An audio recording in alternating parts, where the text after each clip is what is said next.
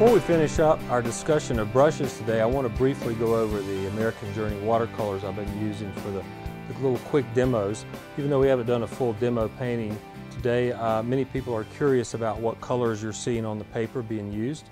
Uh, just like artists have a set number of their favorite brushes that sort of form the core of their brush quiver, uh, I have, like many artists, uh, a small, fairly small number of uh, watercolors that I consider my staple palette.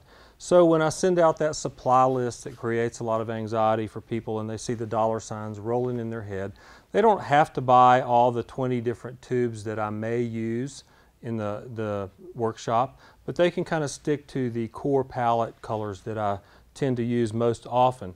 Uh, burnt sienna, uh, I use by the quart, uh, it seems. Yellow ochre, another body color uh, pigment that I use very often, especially for foregrounds in landscapes. A couple uh, reds, uh, alizarin crimson and rambling rose. I didn't include cadmium uh, scarlet today or a similar color, and I do often use that as a warmer red. Joe's yellow, uh, a lemony, clear, transparent yellow. Prussian blue, which is my favorite dark blue, leans a little toward greenish blue. Uh, ultramarine, and cobalt blue. So those are the colors that I've used in dem demonstrating the, uh, the, little techniques we've looked at today. We've kind of looked at uh, how many brushes do I actually have to have to paint a watercolor and we came up with a magic number of five for a full sheet 22 by 30 as just a subjective number that I would recommend as a minimum uh, to get you by. Now the next question that everyone asks is how much do I have to spend? As I mentioned, when I send out a supply list, uh, it always creates a little bit of anxiety for me because I know that it's going to create some anxiety for at least a few other people. Uh, it's difficult to balance how much to, uh, how many supplies, how much equipment to tell folks to bring to a workshop. If I shortchange the list, then I'm going to demo something that folks don't have, uh, and, and, they may be, may be a little frustrated by that. But if I um, go too overboard, they quickly see the dollars adding up, and we're all looking at uh, our costs quite carefully these days. Luckily, here at Cheap Joe's, when you take a workshop, you can choose to walk next door and purchase an item. That's not always the case in some workshop settings. But let's look at costs. And I'm going to use the one inch flat brush, traditional watercolor brush, as an example of the range of options that you have.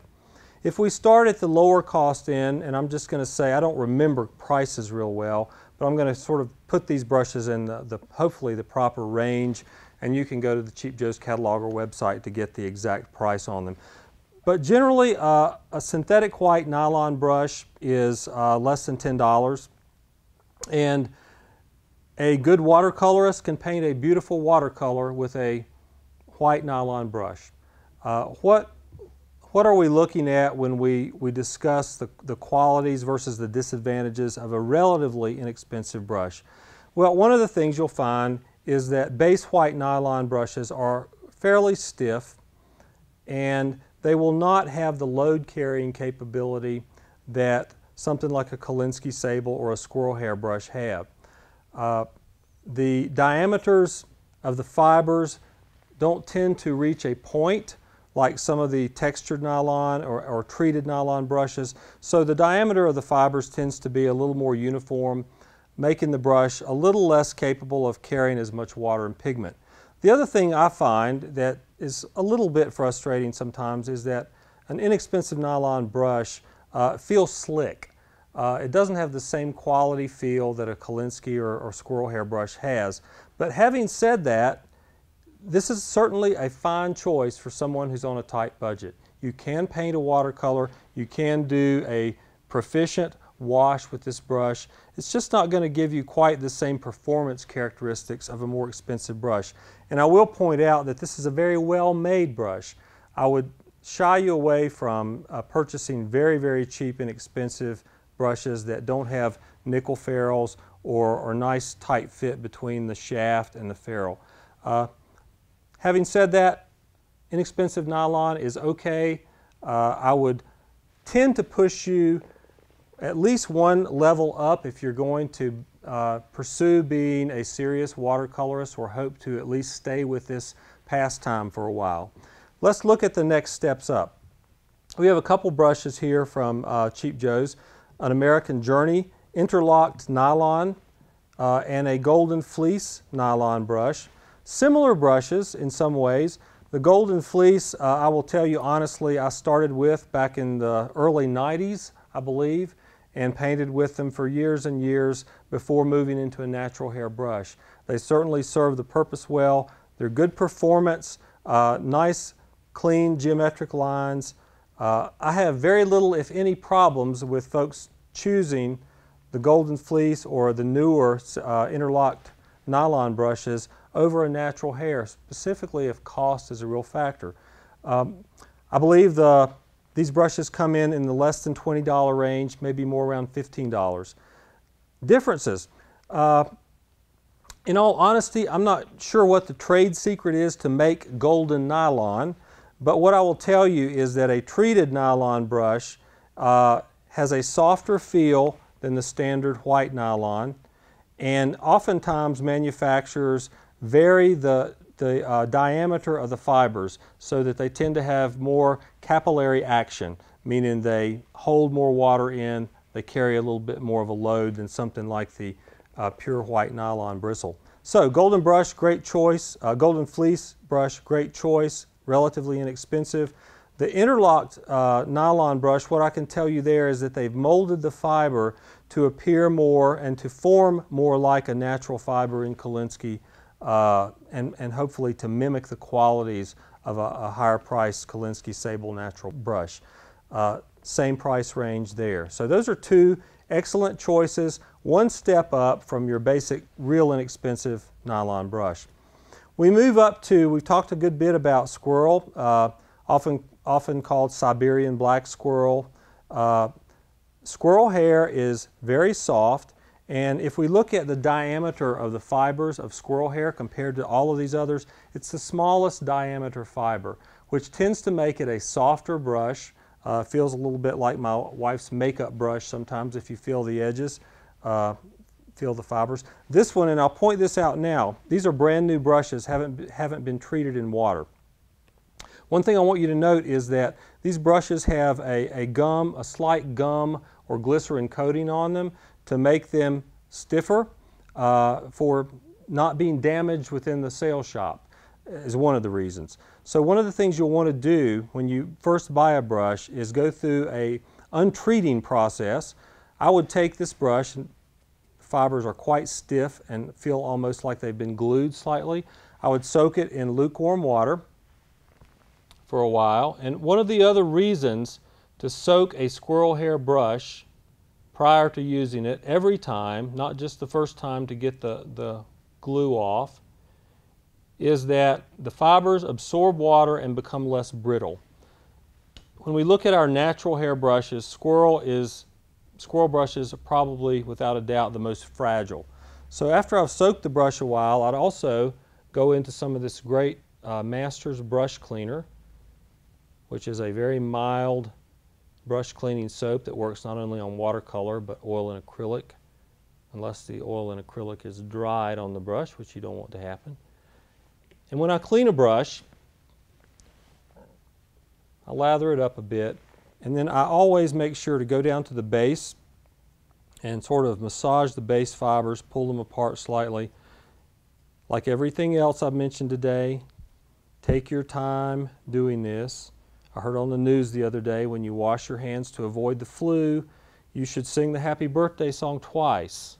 Okay, we all tend to be a bit impatient and we want things to happen quicker than they, the time it actually should take. So, you know, give this a good work over and rinse it out. And you'll feel the softness of that fiber immediately. Squirrel hair uh, is a good choice if you want to move to a natural hair brush without spending a lot of money. As I mentioned one, early in one of the earlier demos, one of the slight limitations of squirrel hair is that it will not allow you the same firmness in making shapes that uh, Kolinsky will or the nylon uh, will. but it's a very uh, wonderful brush for making soft, diffuse washes and letting color play together on the surface of the paper.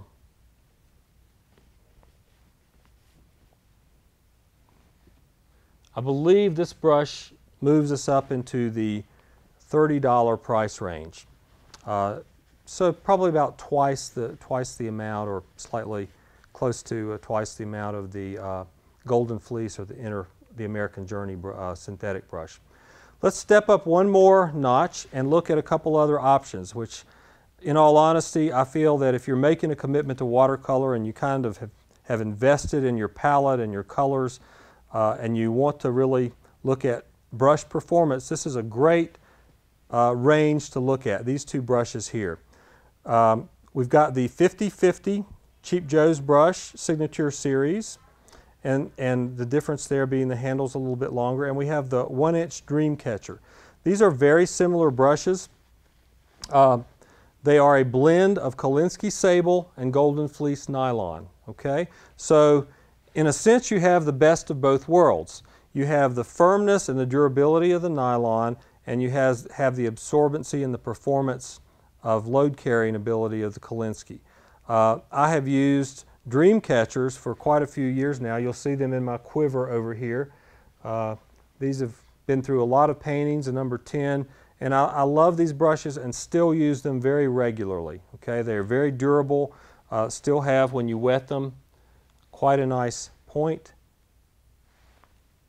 And they are not near the cost of what a full Kolinsky Sable brush is. Um, so very good choice is to look at some of the hybrid brushes being made.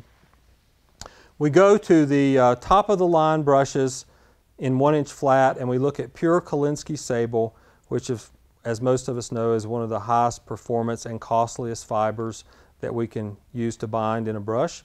Uh, we've got a one inch Cheap Joe's Legend and a brush that I feel is my favorite of all time, the, the one inch Magic Dragon. Uh, not inexpensive. I can't remember what the cost of the Legend is, but the, I think it's less actually than the Magic Dragon. The Magic Dragon comes in around $130, which makes some folks uh, see dollar signs in their eyeballs. That is quite an investment. Why, why are we willing to invest in a brush of this caliber? Um, you know, the best thing I can say is once you use one several times and see how much pigment uh, and I think I demonstrated this earlier, how much pigment and water this brush will carry. I can go clearly across a sheet of paper almost in a, in a bold, solid, dense watercolor stroke with this brush just because its load carrying ability. Kolinsky has the firmness that we need, but it's not too firm. It's not too harsh, it's like something like the white nylon is. Uh, and if you're making a long-term commitment to being a watercolor painter, it's certainly an investment that I think is, is worthwhile. Uh, if you take care of a Kolinsky brush, keep it clean, uh, it's going to last you a long, long time. So it's a very durable uh, hair, a natural hair.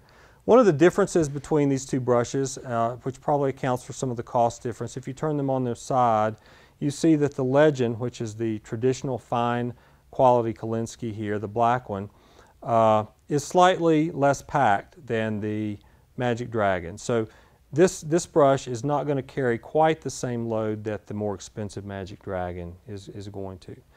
Uh, so I hope that gives you some frame of reference about what might best fit your needs for this point in your painting journey and, and what you're willing to invest. Um, one other topic I want to look at, I mentioned the brush cleaner, which is a great product if, if you have invested in quality watercolor brushes. The Masters Brush Cleaner is certainly something you want to pick up. Uh, you can buy it in the larger tub or use this smaller uh, size container. $5 here, great investment for cleaning your brushes much like uh, a shampoo would, would clean our hair, uh, helping them last quite a bit longer.